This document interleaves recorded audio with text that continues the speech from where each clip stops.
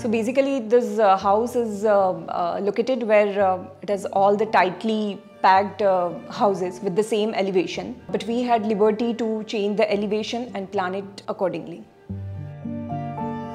Behind planning this house, there were main two factors: a client's requirement and a site context. So our client is a businessman, uh, has a family of five, husband, wife, two kids and uh, elderly mother. They needed individual bedrooms for uh, everybody, recreational space, a good size of garden, overlooking the main areas. So the plot is located in a tightly spaced uh, housing. It is a rectangular plot. On the left side, we have a existing house. Same on the right side. North is in this direction. This is a 3400 square feet plot and we have done the built up area for 5500 square feet. The house is in a L shape. This is the entry.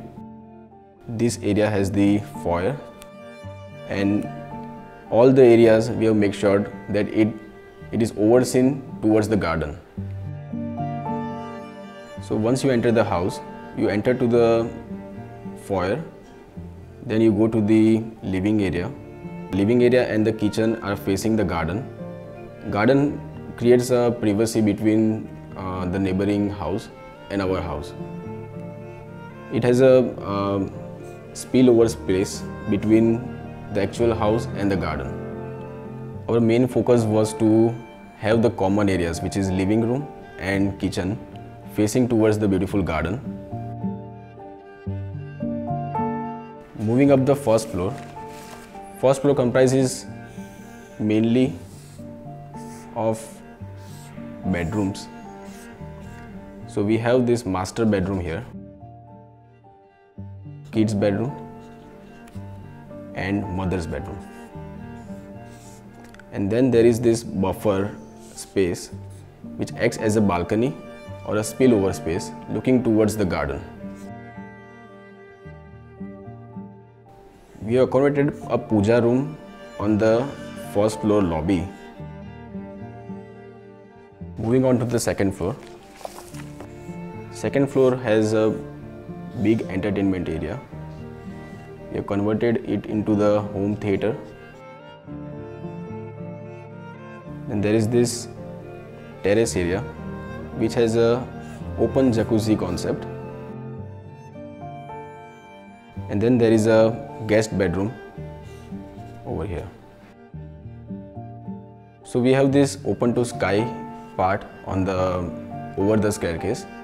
And this long wall has a beautiful artwork done by the local artist to highlight the whole staircase which was normally going in a monotony of white color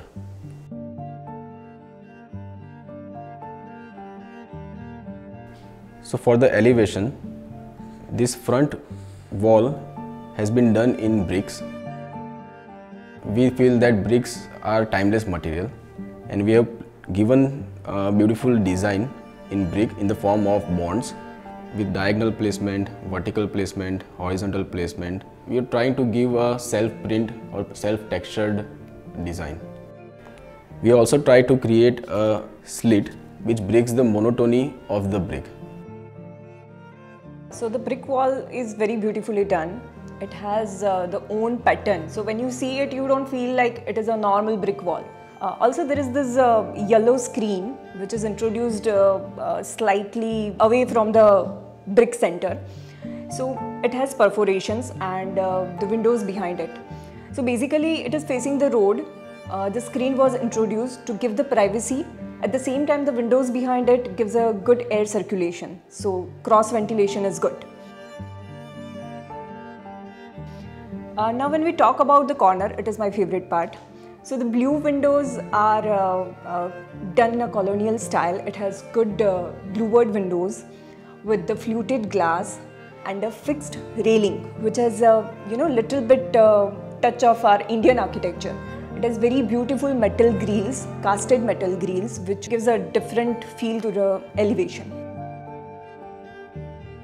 You can use the space as a standing balcony for the reading purpose and when you close your privacy concern is set. I mean there is no issue of privacy.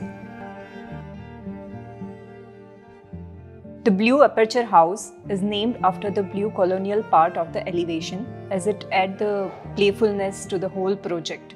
We have really enjoyed the process of exploring the elevation with color, texture and material etc.